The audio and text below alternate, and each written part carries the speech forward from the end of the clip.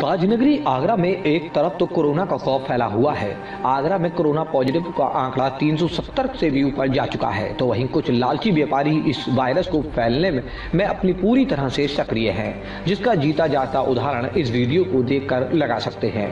थाना न्यू आगरा में चौकी बल्केश्वर के अनुराग नगर में स्थित दुकान से तंबाकू बेचे जाने का मामला सामने आया है। इस वीडियो में दुकानदार एक लड़के को बिमल गुटखा बेचते हुए नज़र आ रहा है।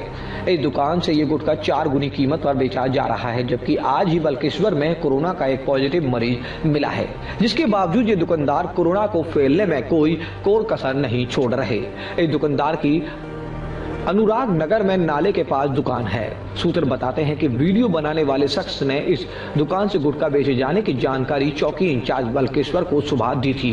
मगर चौकी इंचार्ज कार्रवाई करने की बजाय और कामों में व्यवस्था का हवाला देकर टाल गए। आखिर बड़ा सवाल यह है कि जब मुख्यमंत्री योगी आदित्यनाथ ने पूरे प्रदेश में गुटखा बेचे जाने को प्रतिबंधित कर रखा है तो ये गुटखा किसकी सह पर बेचा जा रहा है? अगर संक्रमण फैलता है तो इसके जिम्मेदार आखिर कौन होगी?